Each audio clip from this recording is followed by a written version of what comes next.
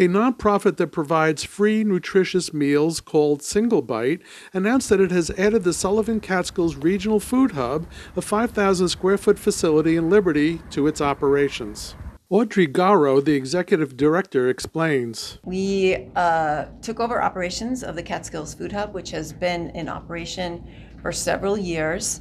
Uh, but as a not for profit, a single bite saw an opportunity when asked to consider this uh, to expand our food based mission and to help more people in Sullivan County get better quality food and more of it.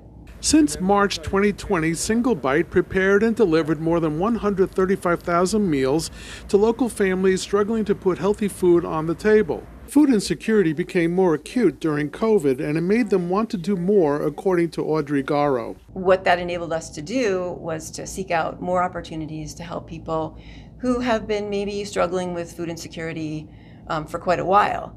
And so it wasn't a crisis as much as it was uh, an opportunity for us to find a sustainable way to address food insecurity. They hope with enough generosity from the community that they will be able to move their existing undersized kitchen to the larger building. Sarah Havelness is the director of operations of Single Bite. Chef is in a really tight space right now and doing wonderful things with it, but him being able to spread out, he'll be able to not only combine ingredients that much better, but assemble meals here as well um, and make that process so much more efficient for him.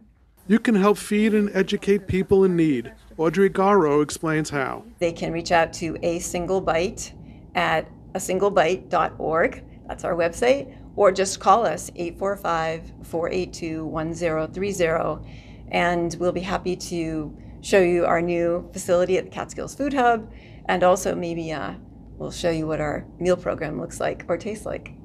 I'm Jim Sebastian, MidHudsonNews.com.